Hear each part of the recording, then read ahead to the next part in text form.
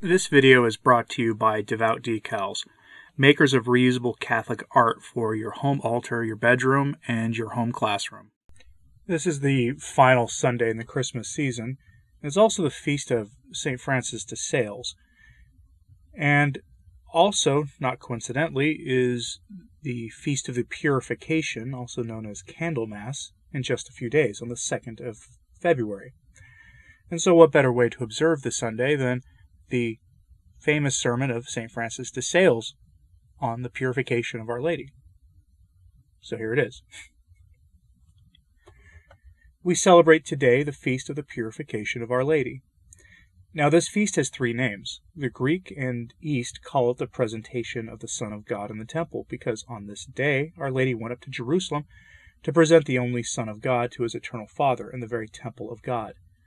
The second name is that of the purification of the Virgin, because the law ordered women to go to the temple to be purified forty days after their delivery, and to bring two animals for an offering. The pair of t- turtle doves offered by the Sacred Virgin was a sign and testimony of her purification. Others call it the Feast of Meeting, because on this day the different types of persons found in the Church of God came together in the temple. There we find Our Lady and Saint Joseph, who were both virgins, yet married, Saint Simeon, who, according to the most common opinion of the ancient fathers, was a priest, good Anna, a prophetess and a widow, and our Lord, who is God and man. For this reason, some call it the Feast of the Meeting. The third name given to the feast is that of Saint Simeon the Just, because he was in the temple at the time, where he attained the fulfillment of his desires, and he witnessed to it by intoning his beautiful canticle, the Nunc Dimittis. Now, I thought it would be both profitable and agreeable to your hearts here to say something to you on these three names. As to the first, the presentation of the Son of God in the temple, I make this first consideration.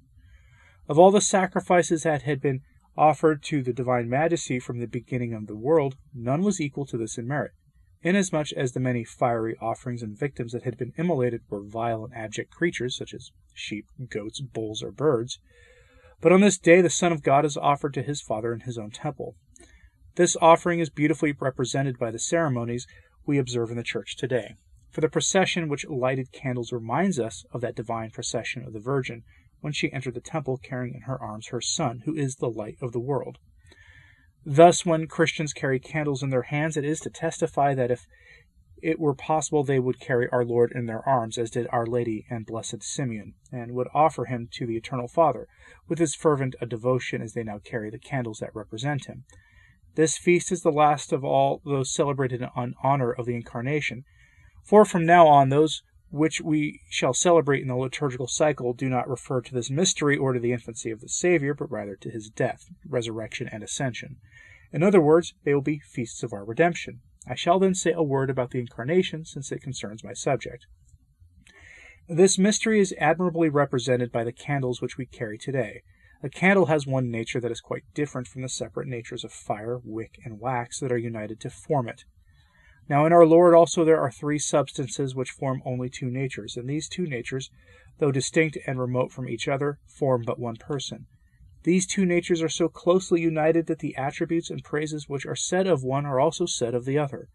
So that of this union it is equally true to say that God became man, and that man became God. However, in the incarnation, God was made like unto us men, in human substance and nature, but not in degree of perfection, for in this he infinitely surpasses us. The fire, which is the first and most excellent element in this candle, is a symbol of the divinity.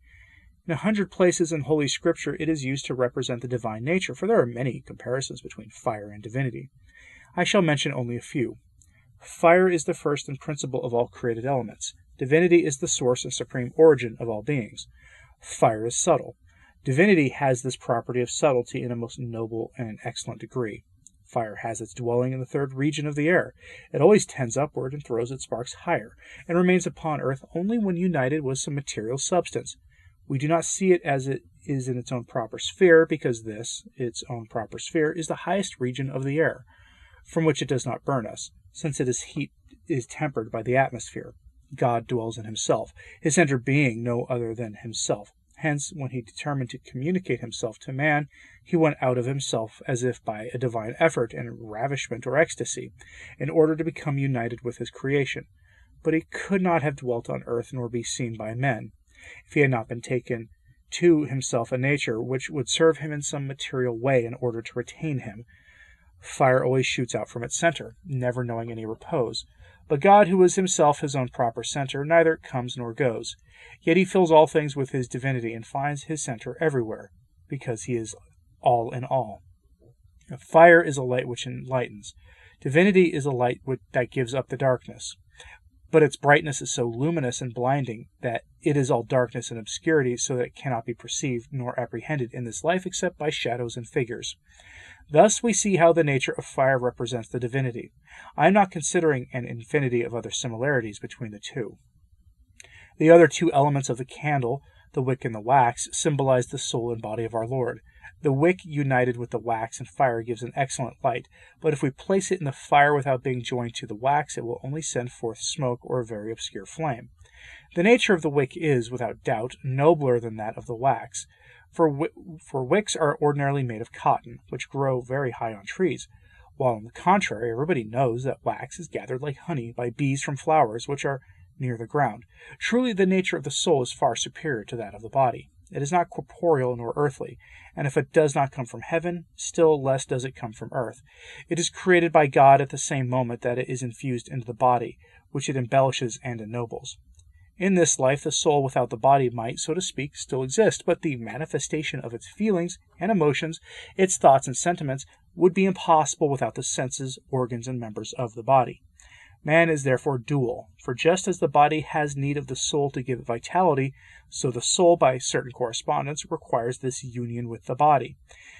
In the same way, the wax, in order to give light, must be united with the wick, and the wick cannot do without the wax if it is to burn clearly. Now, as we have said, the nature of the wax and that of the wick are different. One comes from the earth and is made by bees, while the other grows on big trees without any creature fashioning it, being made as it is by the Creator himself. Nevertheless, these two natures are so united and mingled in the candles we carry that they make only a single candle, which is which fact is admirable. The soul, as we have said, is entirely spiritual. It does not grow here below. It is created by God alone, without the cooperation of any creature. But the body comes from the earth, for we know that the first man was formed out of the ground, and since that time the body is formed from the substance of man and woman, so that for this reason it is their work. Now, although the soul and body are so different from one another, nevertheless they form one single person that we call man. They are so united by this union and joining that we speak of the two as if there were only one. Just as when we speak of the excellence, the beauty, or other such qualities of a candle, we do not make any distinction between the wick and the wax, but express it by only a single word. This candle is a beautiful or good, speaking of the two natures found in it as if it were only one. The sacred body of our Lord was not spiritual any more than that of other men, though it was more noble and excellent than ours, not having been conceived by the help of man, but by the help of the Holy Spirit, who formed it of the most pure blood of the Virgin in such a way that this body is exactly like ours in substance. But his most holy soul was created by God, who at the very moment of its creation placed it in the body formed by the power of the Holy Spirit, and from thence these two substances of the soul and body remain so joined and united that they form but one perfect nature. Fire, on being applied to the candle to light it, attaches itself more readily to the wick than to the wax, because perhaps its nature is more noble than that of wax, and therefore more suited to be the first joined to the fire. In the incarnation, the fire of divinity, determining to unite itself with human nature in order to render it all luminous, began by first attaching itself to the wick, that is to say, to the soul of our Lord. Now, when I say that it was first united with his soul, represented by the wick, we must not understand this in such a wise that, desiring to be enlightened on this mystery of the Incarnation, we deceive ourselves. When I say that divinity attached itself first to the soul of our Lord, you must not imagine that this union between divinity and Jesus' soul took place two or three hours before the union with his sacred body. Oh no, for although the body of our Lord was formed first, yet it did not exist one moment without being united with the soul. Likewise, the soul and body of our Lord did not exist one moment without being united to the divinity. At the very moment that his soul and body were united in the womb of the Virgin, immediately the divinity was united to both the one and the other. Nevertheless, this union began first with the soul as the most noble, and then passed to the body, but so subtly that both were united to the divine nature at the same time. The fact is well represented to us by the subtle way in which fire takes hold of the wick and the wax. For though it is first united with the wick, it is at the same instant united with the wax. Now, this divine nature is so united and joined to the human nature that they form such a union and communion that man became God and God became man. Moreover, the three substances were so united in the person of our Lord that they formed only two perfect natures, namely the human and the divine, which, although infinitely removed from one another, nevertheless in the incarnation form only one person. This is all I have to say on the first name given to this feast. The second name given to it is that of the purification of the Virgin. Everyone is unparalleled amazement to see this most holy lady willing to subject herself to the law of purification, for she was a virgin and consequently had no need of it. Why then does she go to the temple to be purified today? Indeed, until that time, every woman who had become a mother was sullied as a consequence of original sin. That is why not only they, but also the children who were born of them, were in need of this cleansing, which they receive in a very rigorous manner. Alas, even if we ourselves have not sinned, nevertheless we are all tainted with the guilt of our first father. Adam, and have made our entrance into the world under God's wrath, laden with the heavy weight of our iniquities. But this divine child had no more need of purification than his mother, for not only was he not in sin, but what is more, he could not sin. It was impossible that sin should exist in him. In him, I say, who came to destroy it. He himself proclaimed this. I am not, he could have said, subject to the law of purification, for I am the Son of God, and therefore I have no sin in me. This is an infallible truth. Now, as the son was not sullied, neither was the mother, for although it was not impossible for the virgin to have had some sin, and being born of a mother and father, she could have been slightly stained with it like other children, nevertheless it would not be fitting that the mother of such a son should be stained with original sin. This is the reason why, by a very special and singular privilege, this sacred virgin, through divine grace, was conceived without sin. She was, most pure from her conception, and remained so in the incarnation for having conceived by the overshadowing of the Holy Spirit, she remained a virgin at childbirth and afterwards. Why is it then that this most holy lady, being all pure and without sin, wished to go to the temple to be purified like other women, especially in view of the fact that this was not a universal law, but a law only established by Moses? There are thousands and thousands of reasons for it in the early fathers. That is with the ancient fathers, but I shall make use of Genesis to show you why the sacred virgin, although not obliged by the law of the purification, chooses nevertheless to subject herself to it. I shall then speak briefly about the fall of our first father and mother, Adam and Eve. This will not be out of place, since our Lord, of whom mention is made on this feast, is called the new Adam, who came to repair the sin of the first, and by his obedience makes satisfaction for the other's disobedience. And Our Lady is called the new Eve. Now it is written that God created man and woman in original justice, which rendered them extremely beautiful, and so capable of corresponding to grace that there was no sin at all in them, and consequently no struggle between the flesh and the spirit. They had no repugnance to nor aversion for good, no desire nor inclination for evil. All in them was tranquil and peaceful. They enjoyed unparalleled happiness and peace. They lived in the greatest purity and innocence, not in a simple purity and innocence, but adorned with grace. The Lord placed them in this condition in paradise and gave them but one commandment and prohibition. They were not to eat of the tree of knowledge of good and bad. If they ate of it, they would die. Now, Satan, that wicked spirit who had hurled himself down from heaven by a disobedience proceeding from his self love and self esteem, envious of the beauty of human nature, planned to make it fall from this original justice which made it so beautiful and pleasing. Since self love and self esteem had caused his own disobedience, and consequently his eternal punishment, he presented the same temptation to our first parents to see whether, with such a ruse, self love and vain esteem would take hold on them as they had on him.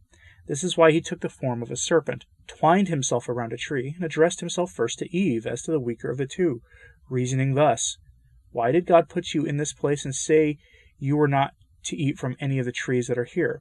She answered him thus, surely frightened and trembling. He has not forbidden us to eat of all the fruits, but only of this tree must we not eat, nor touch it.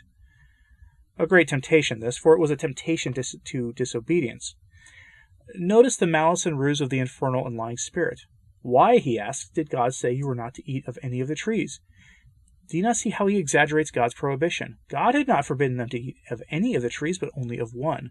But the devil spoke thus to Eve, intending to make her hate the commandment of God. And this hatred is a great temptation against obedience, for the first degree of obedience is hatred of the thing commanded. Lucifer in his fall began by a disgust for the commandment before his actual disobedience.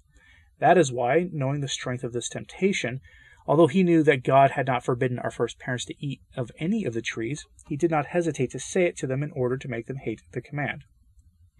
Please notice how this temptation increases with Eve's reply.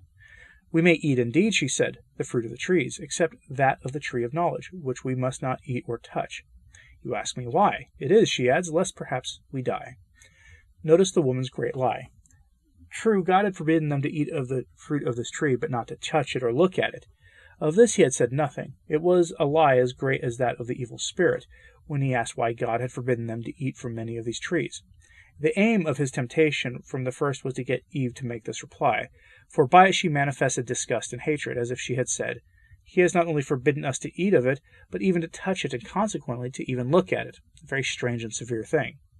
Behold disgust and hatred for obedience, which is, as we have shown, the first degree of disobedience. We see also that all the wretched who are lost by withdrawing from the church experience this disgust and hatred for the commandments. For example, God has ordained that priests and ecclesiastics keep inviolate chastity and virginity. But the devil comes to ask, why was this commandment made? And thus he succeeds in making many hate it and persuades them to withdraw from the church, that they may be freed from the obligation of observing it. Another will come to hate fasting or confession.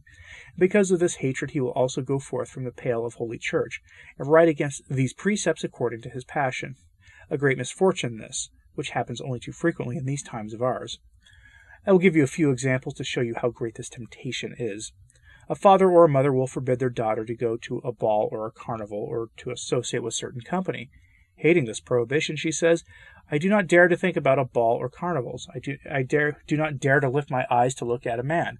It would be better to have my eyes sewed up or plucked out or covered up like those of hawks.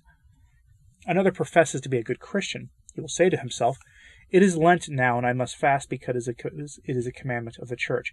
Oh, I shall do so, but if I were pope, I should do away with Lent so it would no longer be necessary to fast. And what is this but evidence of a dislike for the commandment? We observe it because it is of obligation, but we by no means like it, and if we could, we would abolish it. A sister who does not like silence will say freely, Oh dear, so much silence, what is the use of it? Would it not be better at this time to talk than to keep silence? Now that I have such an excellent thought, it would do me so much good to tell it. It would be so much pleasure to those who heard it, and it is not permitted to tell it. Moreover, if I wait half an hour, I will not remember it, or know what it is. See how the dislike for silence makes her talk. Another who does not like to go to the office at the appointed times will be enjoyed some good thought in her cell. And there it is. The bell that calls her to the office. Oh dear, she will think, wouldn't it be better not to go to the office? For in my cell I was enjoying such a beautiful thought. Perhaps if I had remained a little longer I should have been wrapped in ecstasy. And now I must go to the choir to sing. We ought to remain at table in silence until the end of the meal to hear the reading that is made there. Oh dear, what is the use of all this? Would it not be better to go out when one has finished? In short, it is dislike of the commandments that makes us reason thus, and that makes us fail in obedience. But the Sacred Virgin voluntarily subjected herself to the law of purification, because she loved the commandment, and the thing commanded was so precious to her. Although she was not obliged to it, she did not hesitate to fulfill it, because of the love she had for obedience, and for God who had given this commandment. But, O most holy lady, you have no need of it. It is true, she replies, but other women for whom I should serve as an example need it. I obey this law as much for the profit of those who are bound by it as because of the love I bear it. Oh, how happy are those who love God's commandments, and who keep not only those who are obliged to keep it, but also to keep that which they are not bound, subjecting themselves for the good and edification of others.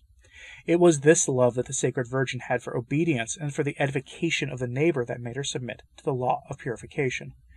The second temptation, or the second degree of temptation to disobedience, I had intended to say three, but I'll speak only of two, is the contempt not only for the commandment, but also for him who commands. Now, when the temptation goes so far as to make us hate the one who commands, it is dangerous and extremely bad. Above all, when it makes us say that he who commands has no reason for giving this command, that it is not the purpose, and when it makes us utter words of contempt for the thing commanded or counseled, because of the hatred we have for him who has commanded it. I know indeed that we can have repugnances and aversions not only for the command, but also for those who command. but to comment or to entertain the thoughts suggested by these repugnances and aversions. This we should never do. However, it was at this that the evil spirit aimed, and for this reason he asked Eve, all the while despising the Lord's command, Why did God give you this command? He implies the, the question, For what reason has he placed you in this paradise and forbidden you to eat of any of the trees that are here? But he was a great liar, saying that God had not given such a prohibition, and surely if he had done so it would seem to be intolerable.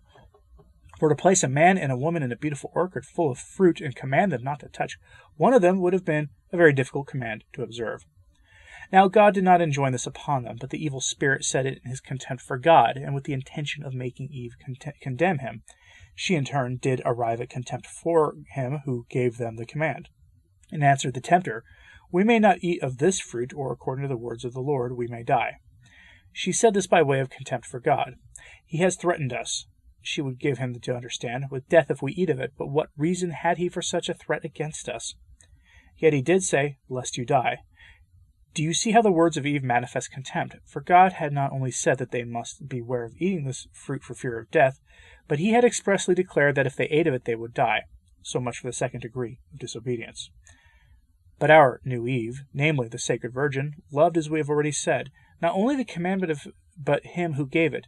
That is why she went up to Jerusalem to be purified, even though she was not subject to the law of purification. Without doubt she would have found more consolation in remaining in the poor cave of Bethlehem with her sacred infant, continuing there the sweet and holy colloquies which took place between that son and that mother. But as she was truly obedient, she showed no preference for one commandment more than one another. But she submitted herself to them all indifferently, for true children of God do not choose which commands they will observe. It is the way of heretics to make such a choice. That is why they are called heretics. But among Christians there must never be choice in what they are to believe and observe. They must simply believe. What must they believe? Everything without exception. Nevertheless, we do find heresies of a sort among Christians. Not indeed heresies of doctrine such as those of the heretics who are out of the church, but heresies of disobedience committed by those Christians who wish to be good, but who, despite that, are willing to obey only those commandments which pleases them. You will see some who, in their love of fasting, would wish to fast even on Easter Sunday. Other such foolishness, no longer existing today, were seen in other ages. Some like the discipline, others like the hair shine. They want to do things which are counseled, but not those that are commanded. They are willing to fast on Easter Sunday when the church does not command, but are unwilling to fast on Ash Wednesday. Oh no, we must not go to either extreme, but must take the middle course, which is to obey without choice or preference. There are other forms of the heresy in obedience. When we choose what we will observe, when we are unwilling to obey all kinds of commandments. It is this absolute and total obedience that places religious above even hermits and anchorites who lead a life in solitude, that is more admirable than imitable. Is it not a wonderful thing to see St. Paul the hermit dwelling in the midst of the desert, housed in a cave like a beast, his only nourishment bread and water? Yes, such things are admirable. Yet with all that, the saint had the use of his own liberty, a fact which lessened to some extent the austerities he performed, since in this manner of life he still exercised some choice and labored for his own particular salvation alone. I know well that he prayed for the whole world and that his prayers were very beneficial for humanity. Nevertheless, it is an incontestable fact that religious perfection, that is to say, the manner of life of religious who are under obedience, far surpasses that of anchorites, for their obedience must be total and admit of no exception. They have no use of their liberty in the choice of their exercises, but rather submit themselves to the observance of their rules and constitutions in the particular directions of their superiors. So much for the second name given to today's feast. I must say a word on the third title given to this day, namely the Feast of St. Simeon the Just. It is thus called because on this day that glorious saint received into his arms him who he had so longed for, but with joy and consolation so great that, having now nothing more to hope for and seeing his end near, he sang like a divine swan that beautiful canticle. Now, master, you can dismiss your servant in peace, for my eyes have witnessed your saving deed. To explain the third title, I shall give you a very profitable example, and although I have alluded to it before in this place, I do not hesitate to offer it to you again, inasmuch as many who are before me now were not present then. Besides, we do not, when speaking of the same subject, always say the same thing. The fact is this Our Lord, seeing a little child one day, picked him up, kissed him, and showed him to the apostles, saying, I tell you solemnly, unless you become like this little child, you will never enter paradise. Many say this child was Saint Martial, who later became Bishop of Limoges, but the most common opinion is that it was St. Ignatius the Martyr, whose feast we celebrated yesterday and whose office is transferred to tomorrow. Oh, how blessed was this glorious St. Ignatius, since he was taken up into our Lord's arms and given as an example to the apostles. How precious and sweet was that kiss! What sacred, secret words our Lord said to this happy child as he kissed him! How blessed he was to allow himself to be carried and handled by the Saviour, who rewarded him by engraving his own sacred name in the depths of his hearts. Now, now tell me, please, whom do you consider to have been the happier, St. Ignatius, who was carried in our Lord's arms, or St. Simeon the Just, who carried our Lord in his arms? Tell me, which would you prefer, to be carried by this dear Saviour as was St. Ignatius, or to carry him in your arms as did St. Simeon? Surely both were very happy. St. Ignatius in being handled and carried, not where he willed, but where it pleased our Lord, and St. Simeon in carrying in his arms him who produced such great happiness that he shed upon this divine Savior abundant tears of sweetness and consolation. But if you had to choose, which would you prefer? Think about it, for it will be a very useful reflection, and afterwards I will tell you my choice. The great St. Ignatius was very happy in being carried in the arms of the Saviour, and no longer walking with his own feet, but with those of our Lord. For he who is carried walks not with his own feet, but rather with the feet of him in whose arms he is carried. Oh, how happy is the soul who no longer journeys with his own feet, that is to say, according to his own thoughts and desires, nor according to his own preferences and inclinations. For the soul has spiritual feet as well as the body. How happy that soul when it no longer journeys according to its own desires, but rather according to those of God. Now, what are the desires of God but the commandments in which his will is expressed? And all are comprised in this fact You shall love the Lord your God with your whole heart, and your neighbor as yourself. From this come all the others you shall not end a life, you shall not steal, and the rest which imply that you shall not do to your neighbor what you would not want done to yourself. There is no need then of putting ourselves in the trouble of trying to find out what are the desires of God, for they are all expressed as commandments, and in the counsels our Lord Himself gave us in the Sermon of the Mount, when He said, How blessed are the poor in spirit, blessed are the lowly, in the other Beatitudes. These are all the desires of God upon which we ought to walk, following not only his precepts, but also his counsels and intentions as perfectly as we can. This is what we do when we obey the general inspirations which are indicated in the rules and constitutions, as well as the particular and secret ones which he places in the depths of our hearts. But to walk securely according to divine desires, we must be simple and sincere in our efforts to discover them, and we must follow the direction given us about them, by this means we shall be carried by our Lord, and shall walk no more according to our own desires, but according to those of God. The glorious Saint Simeon also was very happy to carry the Saviour in his arms. I will suggest two ways in which we carry him, and then I will conclude. The first is to bear him upon our shoulders, as did Saint Christopher. The second is to hold him in our arms, as did Saint Simeon and Our Lady. Surely, although Saint Christopher carried our Lord only on his shoulders, yet he was highly favored, and merited to be called the Christ bearer. Now, to carry him in this way is nothing else than willingly to endure and suffer with a good heart all that it pleases him to send us, however difficult and heavy may be the charge and burden that God places upon our shoulders. How can his yoke be easy if we imagine ourselves exempt from suffering? No, we must, like St. Christopher, carry our Lord on our shoulders, enduring all that he pleases. In the way he pleases, as long as he pleases, abandoning ourselves entirely to his eternal providence, allowing ourselves to be governed and led according to his holy will. The second way is to carry him as did Our Lady and Saint Simeon. We do this when we endure with love of the labors and pains he sends us. That is to say, when the love which we bear to the law of God makes us find his yoke easy and pleasing, so that we love these pains and labors, and gather sweetness in the midst of bitterness. This is nothing else but to carry our Lord in our arms. Now, if we carry him in this way, he will, without doubt, himself carry us. Oh, how happy we shall be if we allow ourselves to be carried by this dear Lord, and if we carry him on our shoulders, as did St. Christopher, and in our arms, as did St. Simeon, abandoning ourselves entirely to him, and letting him lead us where he pleases. Leave yourselves then entirely in the arms of his divine providence, submitting yourselves in what concerns his law, and disposing yourselves to endure all the pains and sufferings that may come to you in this life. When you have done this, you will find that the hardest and most painful things will be rendered sweet and agreeable to you, and you will share the happiness experienced by Saint Simeon and Saint Ignatius.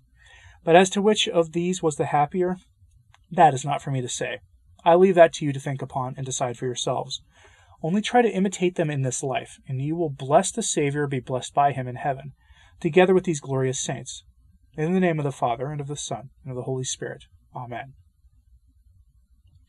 And that was the famous sermon of St. Francis de Sales on the Feast of the Purification, also known as Candlemas, which is just a few days from now, on February 2nd, still observed in the church. I hope you found this edifying, and I'm curious what you thought of this in the comments, so please let me know what you thought of this in the comments, please. And like and subscribe if you haven't. It does help, as does sharing this on social media. That helps a lot too. As always, pray for the church. I'm Anthony Stine. Ave Maria.